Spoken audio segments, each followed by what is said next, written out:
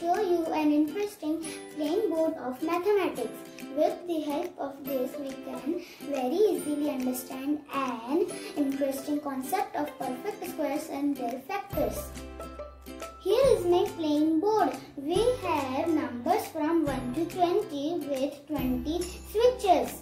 When we switch on, the respective numbers will glow and when we switch off, the light get off.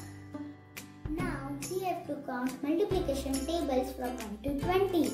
With respect to the multiplication table, we have to switch on if it is off and we will mm, switch off if it is on. Let us start.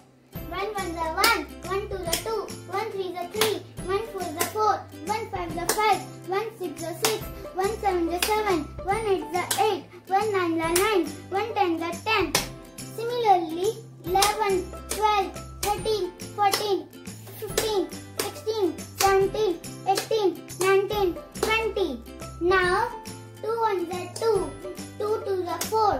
4, 2 3 the 6, 2 4 the 8, 2 5 the 10, 2 6 the 12, 2 7 the 14, 2 8 the 16, 2 9 the 18, 2 10 20. Now 3 1 the 3, 3 2 the 6, 3 3 the 9, 3 4 the 12, 3 5 the 15, 3 6 the 18, 3 7 the 21, 4 1 the 4, 4 2 the 8, 4 3 the 12, 4 4, 4 4 the 16, 4 5 the 20.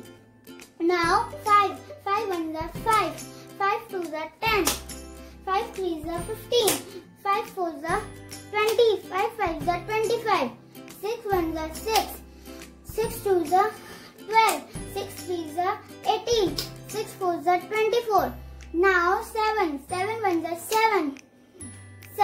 7 2 the 14, 7 3 the 21. Now 8, 8 1 the 8, 8 2 the 16, 8 3 the 24.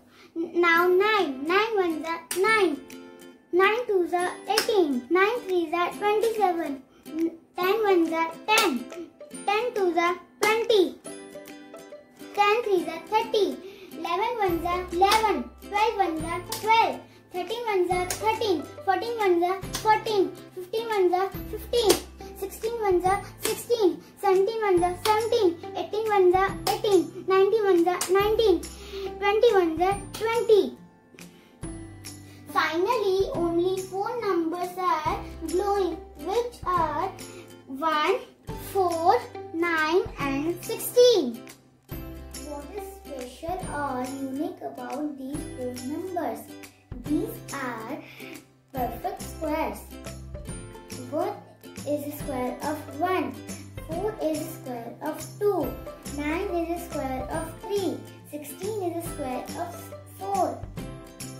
Now the question is why these four numbers are glowing and all others are off.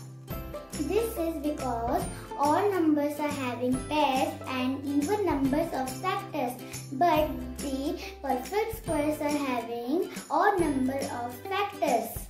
Hope all of you like my this plain board